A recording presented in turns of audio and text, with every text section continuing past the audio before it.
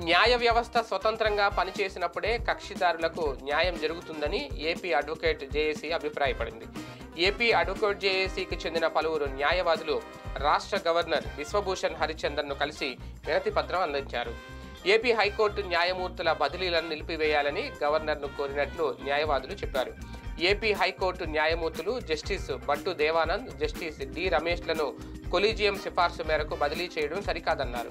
ఇది సాధారణ బదిలీల్లో భాగంగా జరిగింది కాదని అడ్వకేట్ జేఏసీ న్యాయవాదులు పేర్కొన్నారు. ఈ అంశంపై governor AP high court chief జస్టిస్ను కూడా కలిసి వివరించినట్లు చెప్పారు. దీనిపై గవర్నర్ సానుకూలంగా స్పందించారన్నారు. అడ్వకేట్ జేఏసీ అభ్యంతరాలను రాష్ట్రపతికి పంపాలని గవర్నర్ను కోరినట్లు చెప్పారు. ఈ నెల నాలుగున రాష్ట్రపతి ద్రౌపది ముర్ము విజయవాడకు రానున్నారని ఆమెను కలిసి వినతపత్రం ఇచ్చే అవకాశం కల్పించాలని గవర్నర్ను కోరామని న్యాయవాదులు వివరించారు.